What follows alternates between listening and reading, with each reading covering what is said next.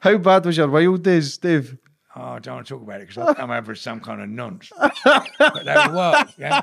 You know, like my job was looking after eight porn stars that went to Hollywood for eight weeks to see if they could crack it. And my job was in a Winnebago looking after them. I'm like, is this for real? Is this really and truly? And then what was what was a nightmare of that was while I was out there, I made a blue, a blade blue for a, a porn film, took the age test, done it, and they went, "We guarantee you, Davey, we guarantee you this film will never be seen out of it. He went, because we're selling it to a hotel chain ring, and it's only going to be showed in North America. You can't take this film off of the hotel porn, right? You can't take it off, so it'll only ever be showed out here.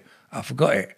Two years later, I'm in fucking Vegas with my at uh, someone else's wedding. She went, "Ain't it beautiful?" We paid the money, and I was getting married in the morning. So I've completely forgot two years ago. I don't know what hotel they're going to put me in for the. Mm-hmm. Right, so I got married in the morning, and in the afternoon, while we're in the hotel suite, and she stuck the porn on, lying on the old vibrating round bed with a mirror. On come her old man. so like, it just, you know, fucks